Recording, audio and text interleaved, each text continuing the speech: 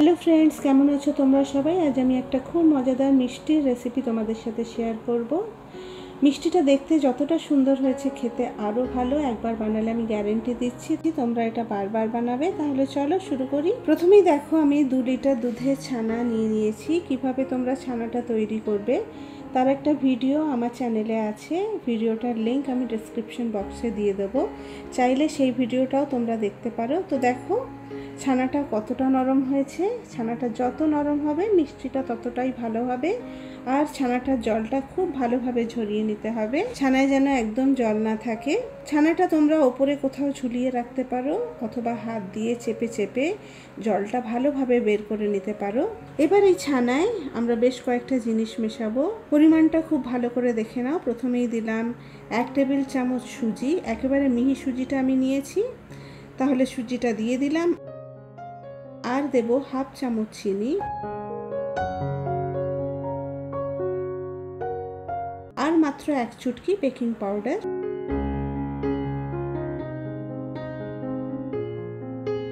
এবার ছানাটা ভালোভাবে চটকে মেখে নিতে হবে। ঠিক যেভাবে আমরা আটা মাখি, সেইভাবে পাঁচ থেকে সাত মিনিট ভালো করে মেখে একটা মোলায়েম ডোয়ের মতো তৈরি করে নিতে হবে। দেখতেই পাচ্ছ, ছানাটা কতটা নরম হয়েছে। এরকম নরম ছানায় মিষ্টিটা খুবই ভালো হবে।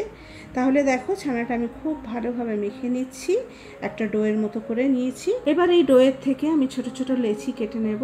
মিষ্টিটা আমি একটু বড় আকারে তৈরি করব। তোমরা যেমন সাইজের তোমাদের পছন্দ, তেমন সাইজের লেচি কেটে নাও। এই সাইজের লেচিগুলো রসে দিলেই ফুলে অনেকটা বড় হয়ে যাবে।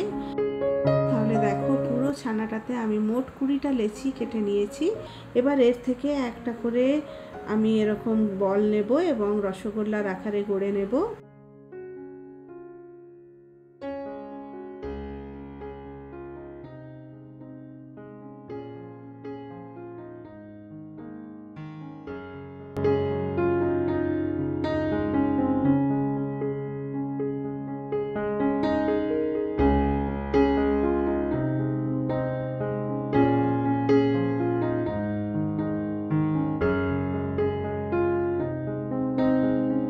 একটা থালা নিয়েও করতে পারো। দেখো, আমি একটা থালা নিয়ে নিয়েছি আর থালার পেছনটাতে ঠিক এভাবে মিষ্টিগুলোকে গোল করে নিচ্ছি। এই পদ্ধতিটা সব থেকে ভালো। এভাবে মিষ্টিগুলো খুব সুন্দর গোল হয়ে যায় আর এগুলোর মধ্যে একটাও ক্র্যাক থাকবে না।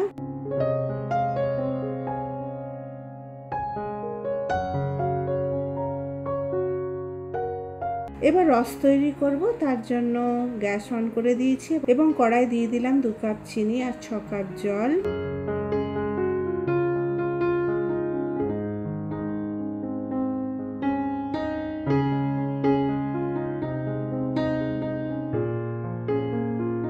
ভালোভাবে নেড়ে চিনিটা জলে মিশিয়ে নেব। রসটা ঠিক রসগোল্লার রসের মতো হবে, পাতলা রস তৈরি করতে হবে। এবার এই রসের মধ্যে চারটে ছোট এলাচ, একটু মুখটা ফাটিয়ে দিয়ে দিলাম। এতে মিষ্টিগুলোতে খুব ভালো একটা গন্ধ হবে। এরপর কিছুক্ষণ রসটা ফোটার অপেক্ষা করব। এবার এই ফুটন্ত রসে মিষ্টিগুলোকে একে একে ছেড়ে দিলাম।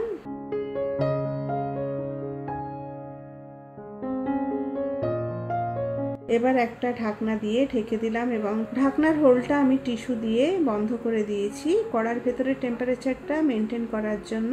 এবার ঢেকে মিষ্টিটা আমি কুক করব পাঁচ মিনিটের জন্য। পাঁচ মিনিট বাদে দেখো মিষ্টিটার কালারটা একটু চেঞ্জ হয়ে গেছে। আর মিষ্টিটা ফুলে অনেকটা বড় সাইজের হয়ে গেছে। আবার পনেরো মিনিটের জন্য ঢেকে দেব এবং এটাকে রান্না করে নেব। পনেরো মিনিট বাদে দেখো রসটা বেশ গাঢ় হয়ে গেছে আর মিষ্টির কালারটাও হালকা চেঞ্জ হয়েছে। এবার এতে বেশ খানিকটা গরম জল ঢেলে দেব রসটা পাতলা করার জন্য।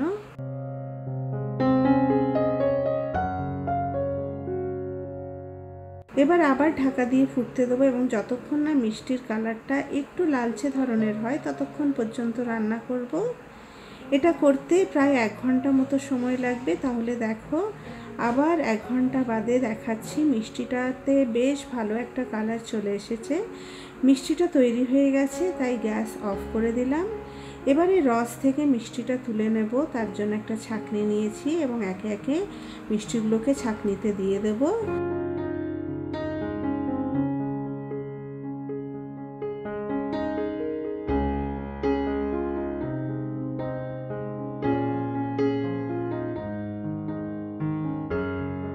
এবং প্রায় আধ ঘণ্টা রাখব। এইভাবে রাখলেই রসটা একেবারে পুরোপুরি ঝরে যাবে।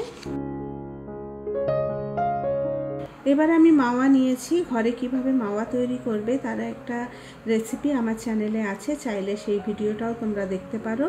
এটা দিয়ে আমরা মিষ্টিটাকে কোট করব। তার জন্য একটা গ্রেটার নিয়েছি। একেবারে ছোট সাইজের মাওয়াটাকে আমরা গ্রেট করে নেব। এই গ্রেটারের সাহায্যে দেখো মাওয়াটা কতটা ঝুরঝুরে হয়েছে।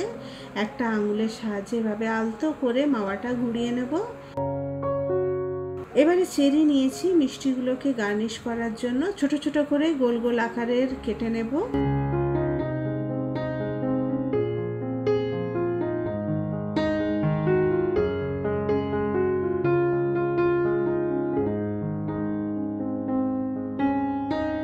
এবার দেখো রসটা খুব ভালোভাবে ঝরে গেছে। এবারে একটা মিষ্টি নিলাম এবং মাওয়াতে রোল করে নেব।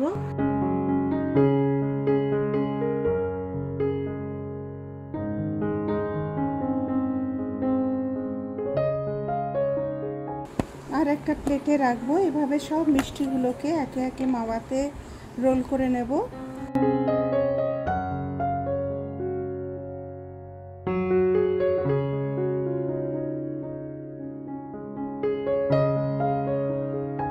এবারে মিষ্টিগুলো গার্নিশ করব। তার জন্য একটা করে চেরি মিষ্টিগুলোর ওপর বসিয়ে দিলাম।